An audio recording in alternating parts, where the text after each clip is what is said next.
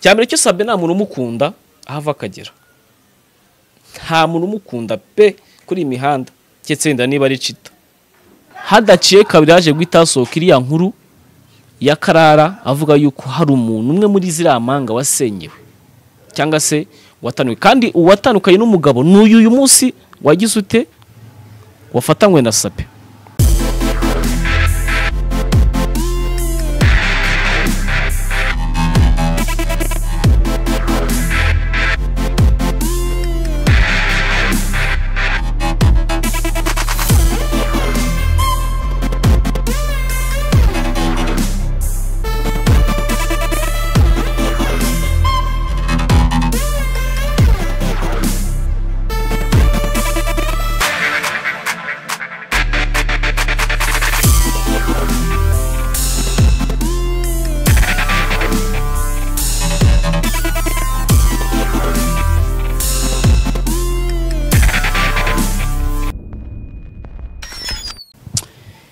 yes reka nangire mbasuza ndetse mbifurize gukomeza kugwa neza mo muri mudukurikirana umunsi ku munsi babwira ngo turabakunda kandi dukunda. Eh, na komantere mutugezaho mutubwira yuko mukunda ibiganiro byacu. Njye nitwa muhire jason. Eh, njye turi kumwe hano kuri kamera aho inyuma hari jado ku buhanga bw'ibyuma eh, atunganya amashusho. Ushobora kwibaza ngo nje hano kubera iki? Nje hano kugira ngo tuganire cyangwa se tugaragaze ukuri kw'ibintu biba bihari eh, kubera ko naje gusanga yuko iyi minsi iyo uvuze ikintu kiri cyiza usanga abantu batacyumva ahubwo wazana ikibi ugasanga ahubwo ni bwo abantu bari kucyumva kandi tubereho kugira ngo twubake ibintu aho kugira ngo tubisenye. Eh, hagana ku isaha za saa tatu cyangwa se saa mbiri n'igice gutyo eh, ku mbuga nkoranyambaga ni bwo hasohotse videwo eh, y'uwitwa Murungi Sabi cyangwa se eh, y'umunyamakuru uhagarariye ikinyamakuru cya Isimbi TV ari we Munyengabe Murungi Sabi niyo mazina ye. Mm, agaragaza eh, uyu mugabo aryamye cyangwa se yicaye hasi ahantu ubona ku impande y'umuhanda ari kumwe n'uwitwa Ngwino Ndebe nu- nu- nu- ni impanga eh, zifite channel ya YouTube na yo bita Joe Twins. Ubona ko uyu mugabo yababaye ndetse ubona ko hari abantu bashaka kumuterura kubera yuko guhaguruka byari byanze. Benshi bavuze amagambo menshi ndetse iyi video eh, yaje gusa nk'isakara ku mbuga nkoranyambaga mm, igizwemo uruhare n'uwitwa eh, Ikora TV show.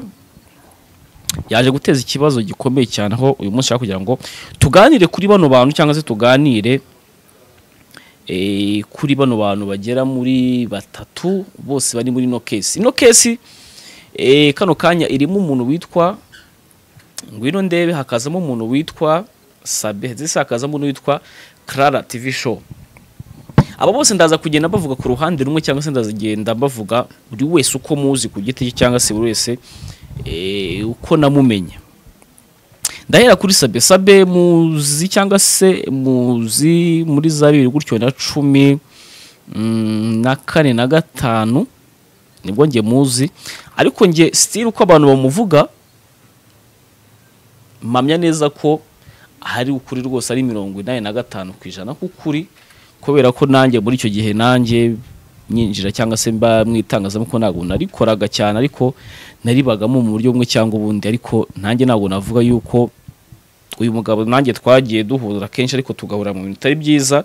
Cyane cyane ko yaje nanjye no kunkorera ibintu bitari byiza kubera ko hari igihe cyabayeho nanjye ndi kwiga ibijyanye na eh, na na na, na filimo- filmotography siko bayitaye. Ubwo ni ibintu bijyanye no gufotora no gufata amashusho muri rusange.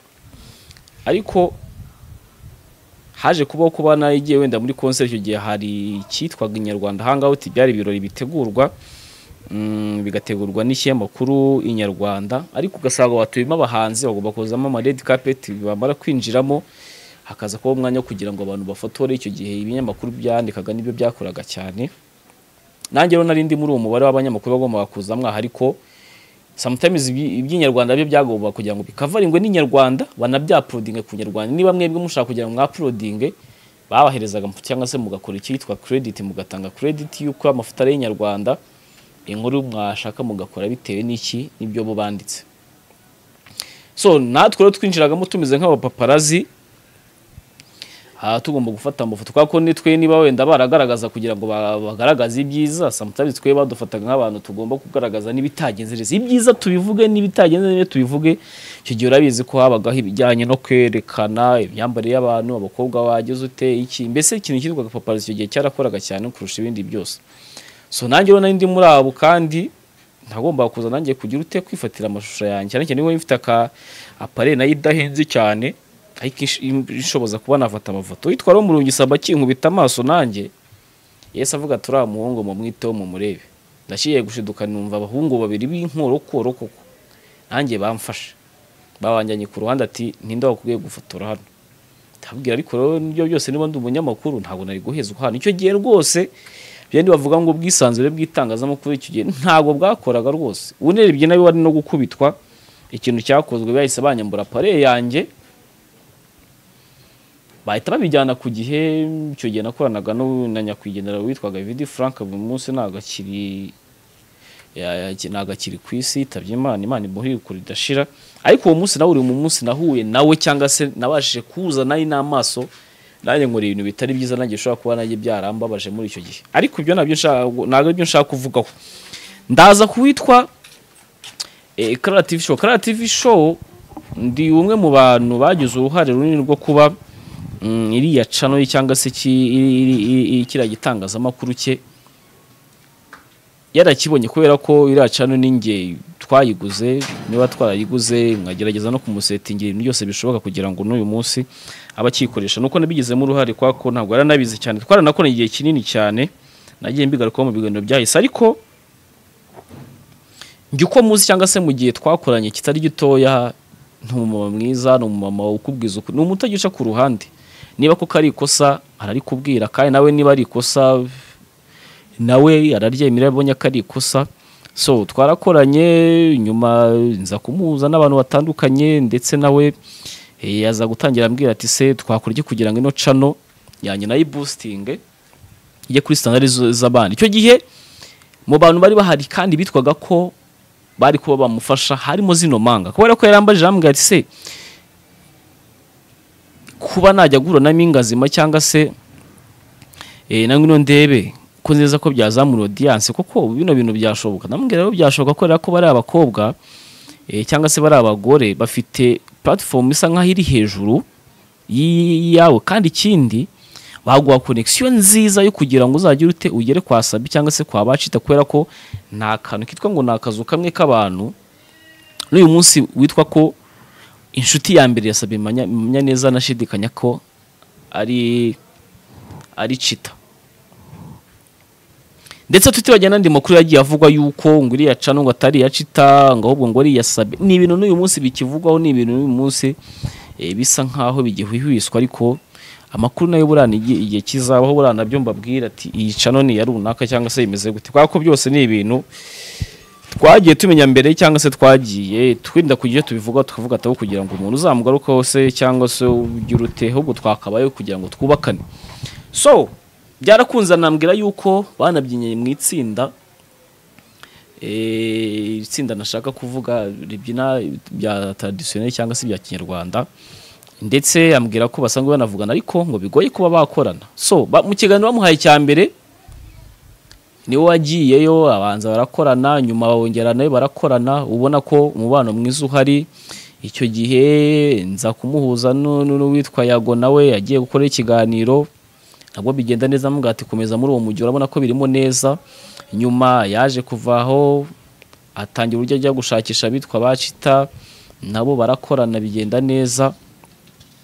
Icyo gihe ndibuka ko byaje no kuba n'ikibazo kuri Clarissa kubera yuko njye nari maze kugira izindi nshingano zitandukanye kubera ko twebwe turi abategesi bo ku mihanda iyo ngeze gutya nkabona undi muntu ufite amafaranga ashobora kuba afatika cyangwa se yamfasha nshaka kuba nahita mubwira ati ronge amafaranga uri kumpa ndabona adahagije kandi nabonye undi muntu wameza amafaranga so shakisha ubundi buryo bushoboka shaka undi muntu mwamukorana bigende neza.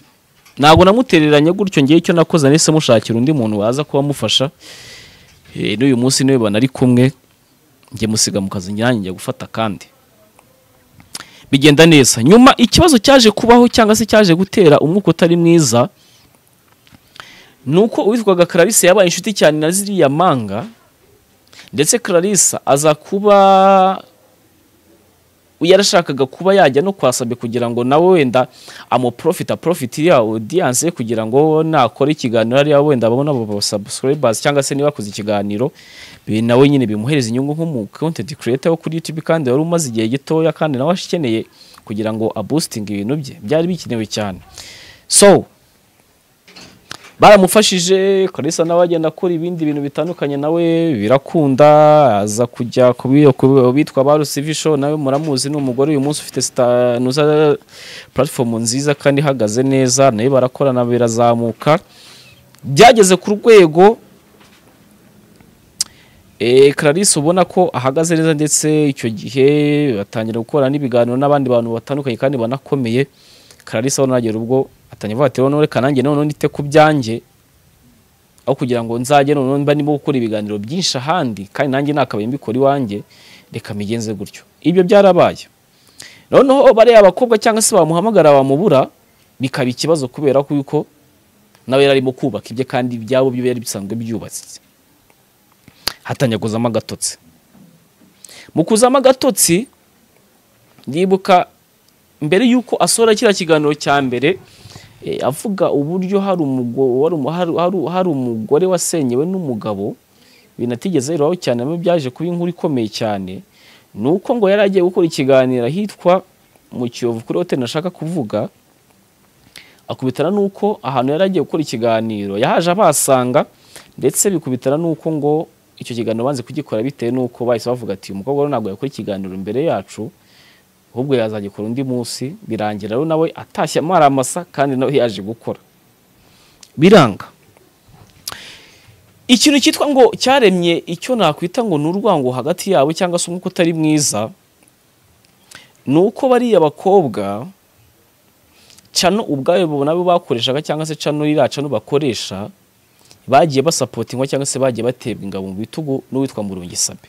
Kuva ku munsi wa mbere iriya cano bayishinga kubera ko ababazi neza bazi iriya cano igira abasabosore bazi mu bingahe ntago nyine batangiye ariko bari hasi ariko baterwa inkunga na ki? Na Sabe Sabe ushobora kwibaza ngo niyihe inkunga bari bamukeneyeho cya mbere cyo bariya bakobwa bari bakeneyeho inkunga ya Sabe kuba bashobora kuba wenda yabashyira kuri community cyangwa se yabashyirira kuri yabapiningira aba- abazi ibintu bya YouTube barabizi.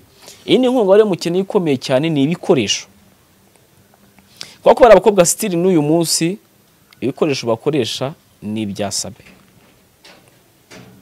Utanatinya kuvuga yuko iriya cano n'ubundi unarebye neza wasanga ibakiye kuri Sabe. Kubera ko naje gukurura ndetse naje no gukomfirima nanjye ubwanjye nanjye mbyigereraho ni uko naje kumenya yuko iriya cano yamaze kuba monetize cyangwa se niba monetize no muri cya gihe uba ugiye guhembwa na AdSense bari bafite iri verifiye aba- abazi ibya YouTube barabizi cyane. Ono kubera ko bari bafite connection n'uwitwa Clara byaje kuba ngombwa ko bamubaza ngo ese wowe ko watangiye guhembwa kandi utaradutanze gukora? Twakora iki cyangwa se ndi muntu wafasha wadufasha kugira ngo natwe channel yacu ibidusetingire? Cyane cyane ko uwitwa Sabe cyangwa se uwitwa Chita akenshi bataba bafite time yabyo yo kugira ngo bidukorere. Kandi dushaka kugira ngo natwe amafaranga ajye aza aduceho direct kubera yuko urabizi ko niba YouTube ihemba mu matariki makumyabiri makumyabiri n'abiri bitarenze makumyabiri n'atanu umuntu wese yazi neza ko amafaranga ageze kuri konti burya niyo wafata ideni cyangwa se niyo wakwaka umuntu ideni uzi neza ko kuwa mbere uzajya kuri gishe ukabikuza amafaranga ukaza ukishyura umuntu. Ariko iyo uzi neza ko amafaranga bizasaba kugira ngo uce ku wundi muntu nawe ubwawe ku giti cyawe ntabwo waba uri sefu so ikintu cyabayeho aho bahemberwa ayo ni amakuru ndi kubwira abantu benshi bashobora kuba batazi cyangwa se batamenye ni uko aho bahemberwaga. Bahemberwaga kuri cano ya Chita cyangwa se kuri AdSense ya Chita. Ikintu cyatumye rero bano bakobwa badashaka kugira ngo bakomeze guhemberwa kuri kuri AdSense ya Chita nuko baje kumenya yuko Chita bafite akazi kenshi sometimes rero babizi ko mu minsi yashize Chita hari yajyaga kubita wenda afite ingendo wenda zo kujya hanze yagiye nka hehe muri za muri za Kenya yagiye hehe nyine. Urabizi mu minsi yashize yaba afitemo ingendo nyinshi. Ugasanga muri ya matariki yo guhembwa ba bakobwa ntabwo babonye amafaranga abo. Kandi urabizi amafaranga kuri YouTube abantu benshi bafiteho target cyangwa se waramaze gukoresha amafaranga menshi ukeneye kugira ngo wishyure. Ugasanga shita azaza wenda nka nyuma y'icyumweru kugira ngo ubwo azayabikuze yabahereze bo rero bikabatera ikibazo. So bahise baza- babaza Clara ati ninde muntu waduzanaye kugira ngo bigende neza? Njyewe ubwanjye twaraganiriye nande? Eh, nuriya bita nuriya bita ngwino ndebe. Twaraganiriye. Kuko yamama kuri phone arambwira nitwa runaka eh icano ya- yacu yitwa gutya dushaka ko dufasha bino na bino. Ese byashoboka? Ndabwira birashoboka twazapanga umunsi wo kubikora. Icyo gihe barambwira ko nabasanga hari hari hoteli hano bayikorakoreragamo hano hano eh, Kicukiro uzamutse gutyo santere ruguru. Hari hoteli imwe nashaka gutangaza uvuye kuri ntabwo nshaka kwitangaza reka no kubijyamo cyane. Ntabwo naje kwamamaza ariko basabye yuko ndaza kuwaza bikubitana nuko nanjye nari mfite akazi ndavuga rero none ntabwo byakunda. Reka nze kureba virabilite yanjye cyangwa se dupange ejo ari bwo tuzabonana. Ubwo rero birangira nanjye umwanya nkubuze ubwo mu gitondo cyari kigeze nabwo na- nabwo nari mfite ikiganiro mu gitondo eh, za Nyamata n'umutumirwa umwe wari ugeze mu Rwanda biba ngombwa ko nabwo ntabwo nabonetse. So ubwo rero twakipinze imitaci yo kuba tuvuga ngo tuzongera tubonane tubinonosore birangire ariko siko byagenze. Nyuma yaho ikintu cyaje kubaho nuko haje kuzamo agatotsi hakizamo agatotsi bikubitana nuko connection yaduhuzaga hagati yanjye nawe cyangwa se nabo bayihawe na Karara kandi bazi neza ko Karara nawe yari inshuti yanjye twakoranaga. Bahita bavuga ati se ubu kano kanya muhire tumuhaye kano kazi. Cyane yacu niyayiba ku ruhande rumwe na ibyo bintu nabaye tubitekereza gutyo. Kubera ko niba Karara ari waba- waba- wa- wawuhuje nanjye kandi ari we namufashije bashaka guhita bavuga ati rero Karara azamushyiramo iki? Izindi ntekerezo zimwe cyangwa izindi ahubwo usanga ibintu byacu arabyishe cyangwa se cano yacu turayibuze. Ibyo njye naje kubyumva naje kubibwirwa n'uwitwa ngo ni umukameramani wabo wabakoreraga? Ayo baje kumbwira ati muhire ati nageze kumva bo kuvuga ati bavuga ati murakora bati ukorana na karara. Ati kandi wari ugiye kubasetingira biriya bintu. Ati none rero ati numvisha bavuga ati ushobora kuba wabiba cano cyangwa se cano wenda wanayigira mu buryo bumwe cyangwa ubundi bikazabateza ikibazo. Ati biba ngombwa ko mutagomba gukorana. Njyewe narabyakiriye kuko n'ubundi nta mafaranga menshi bari kuma wenda arenze yenda. Ari nako ushobora kuba nakorera ahubwo njye naje kuvuga ati ibyo byose niba umuntu atagufite agufiteho confusion y'ibintu nk'ibyo ntabwo nshaka kubyitaho. Nibwo hadaciye kabiri haje guhita hasohoka iriya nkuru ya karara avuga yuko hari umuntu umwe muri ziriya manga wasenyewe cyangwa se watanuwe. Kandi uwatandukanye n'umugabo ni uyu uyu munsi wagize ute? Wafatanywe na sape ibyo bintu byahise bikurura icyitwa ngo ni itiku byahise bikurura icyitwa ngo ni urwangano hagati yabo kubera yuko ikintu cyari gihari cyari kimwe. Uwitwaga karara niba araporofitaga ibikoresho byabo hajemo agatotsi ntiyakongera kubikoresha. Abitwaga impanga niba bagombaga kuba bakore- ba- bakoresha karara wenda mu biganiro kubera ko ibiganiro bagiye bakora byarigiye binarebwa abantu baranabakunda ntibakongeye kuba bakongera guhuza. Ono ikintu cyabayeho bari abagore bakoze ikintu cyitwa ngo ni agatimu bagiye bafata abandi bari bahari nabo na ba kecapu n'abandi bose. Urabizi ikiganiro bigeze gukora kera bose bahuriye hamwe bakora ikintu cyitwa ngo ni agatsiko k'abadamu cyangwa se aba- aba- abafite abagabo. Ubu batangira kujya bo ubwabo bishakamo ibiganiro. Ibyo byarabaye biranarangira ndetse ari naho haje kugenda yenda bakuru- bakururana n'abandi bagore bagiye batandukanye bagiye baturuka za rubavu musanze nabo bafite amacano kugira ngo bazamure amacano. Noneho birangira uwitwa Clara we asa nk'aho abaye iciro ry'imigani muri bo kubera yuko baramaze kumwigobotoraho ahubwo bafatana ba bandi bose bitwa ko bakora ibintu bimwe nawe bahita baza babicaza kuri cano zabo.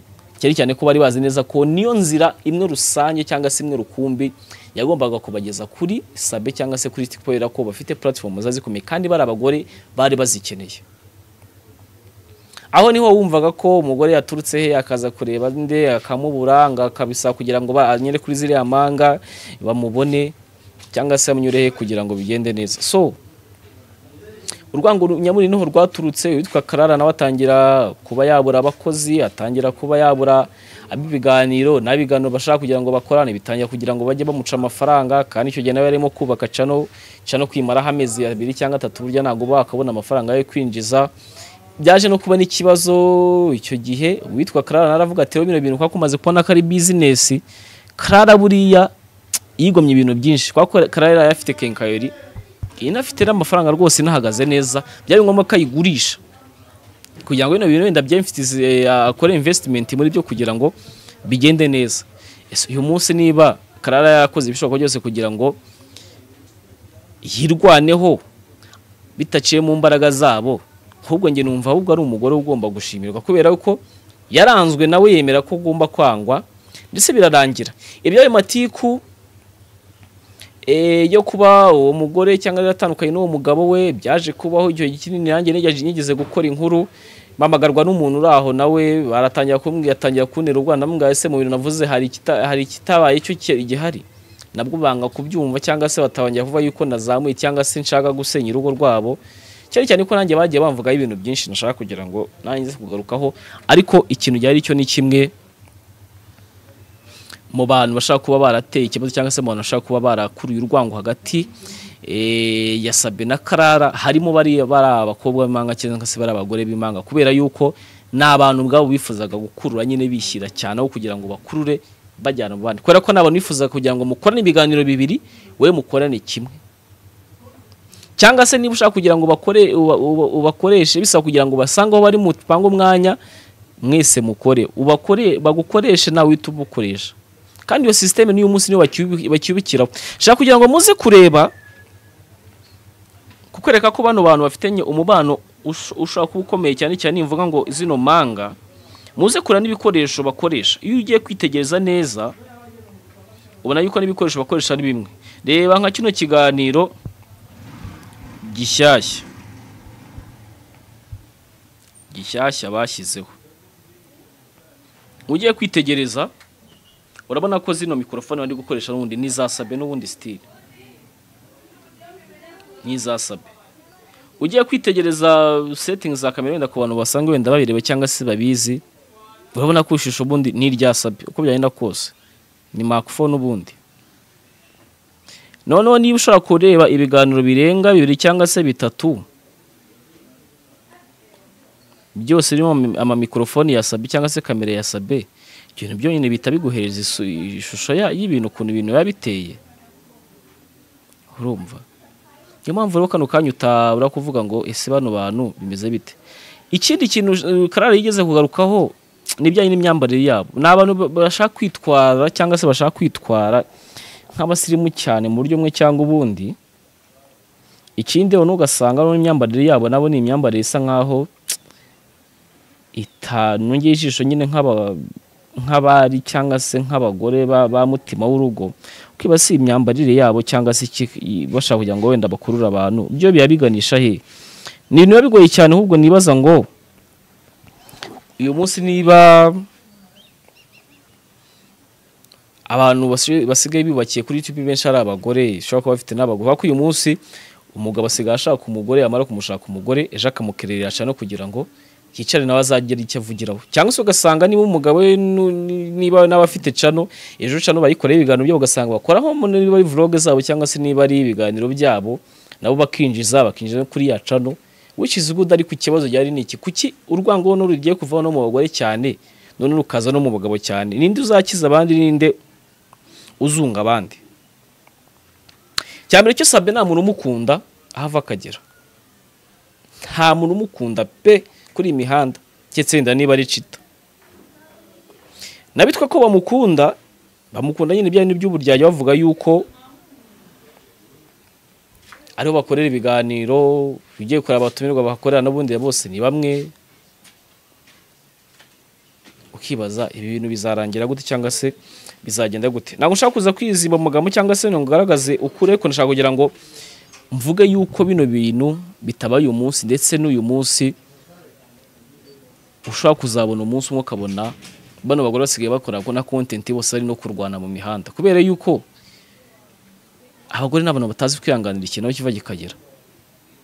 Niba kano kanya bataragerageza kuvugira kuri mikorofone zabo ariko nzi neza ko aho bari imitima yabo idatuje kandi hari ukuntu bitameze neza. Niyo mpamvu nshaka kugira ngo nsabe abakora cyangwa se abakorera kuri zino mbuga nkoranyambaga natwe ku bwacu dukoreraho bubake ubumwe kugira ngo bubake gusenya kw'abantu.